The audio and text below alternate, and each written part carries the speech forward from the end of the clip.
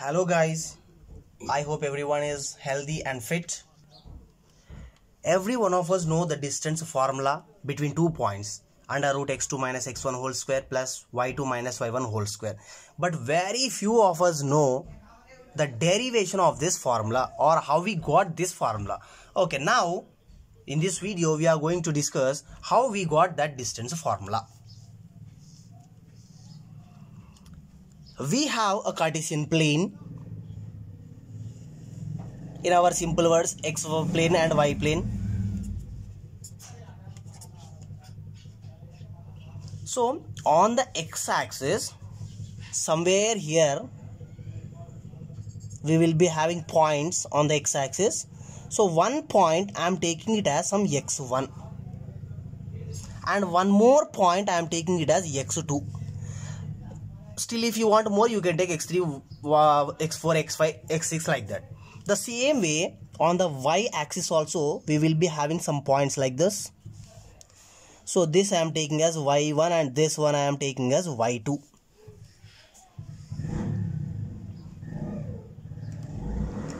now what we are going to do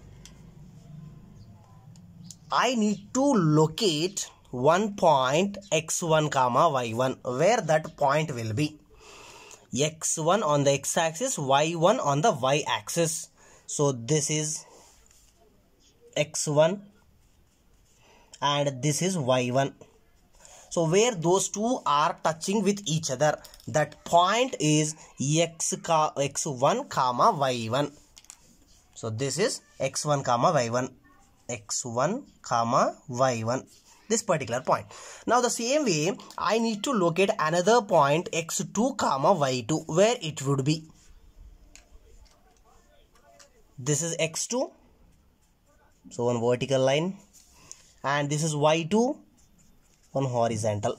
So where those two lines are touching with each other this point so then that will become x2 comma y2 x2 comma y2 so I'm joining these two points.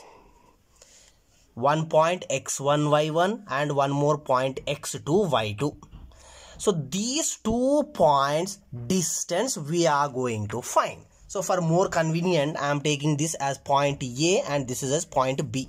Point A located at x comma y1 x1 y1 and point B located at x2 y2. So we are going to find the distance between this AB. So for that we are going to take the help of Pythagoras theorem.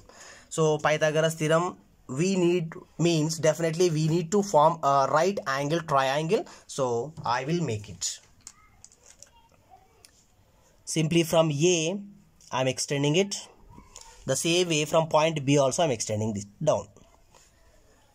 So this simply for convenience I am writing it as point C. So if you observe it clearly now, ABC is a right angle triangle. So if right angle triangle is there, definitely we can apply Pythagoras theorem. But for that, we need to know the measurements particularly. Then let us check how to find out those measurements.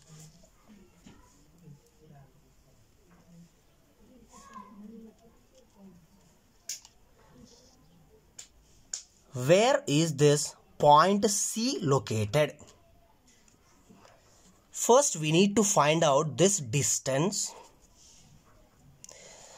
We need we need not to know here where this point C is located exactly because we want this AC distance then this BC distance because according to Pythagoras theorem AB square is equals to BC square plus AC square here I wrote B, that's why we are treating it as AB square only.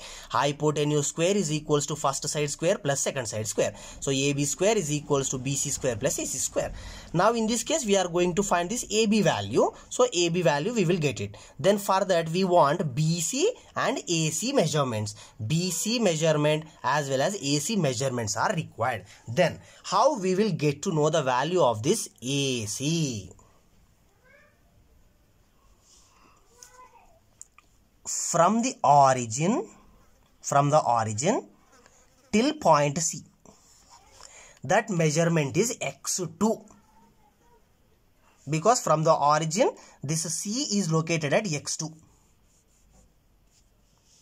this total distance from origin to this C is x2 next from origin to this particular point is x1 so if we observe clearly now from this distance if I remove this I will get this distance between x1 and y2 sorry x1 and x2 yes definitely. That is the measurement of AC so from x2 if we subtract x1 we will get this AC distance. So AC is equals to x2 minus x1 then what about this BC distance? So BC is equals to from x-axis till here it is there.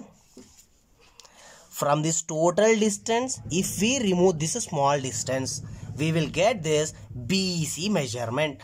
So this total is till y2 so from y2 if we subtract this small one small one is till y1 so this is total y2 and this is y1. From y2 if we subtract y1 we will get the measurement of BC.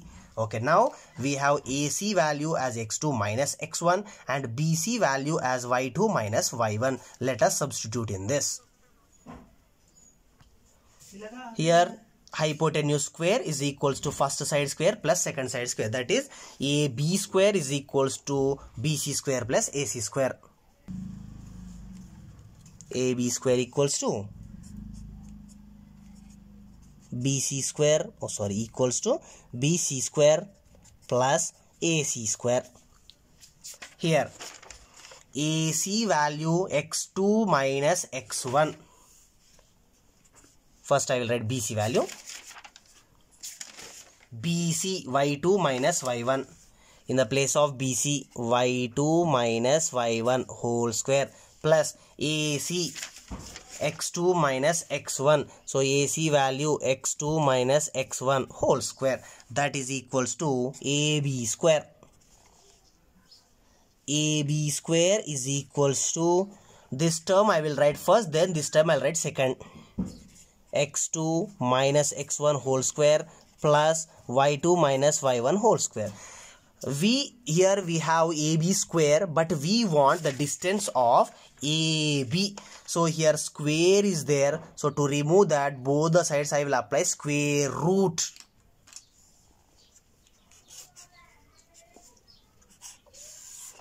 So here square root and square both will get cancel. So we remains with AB is equals to under root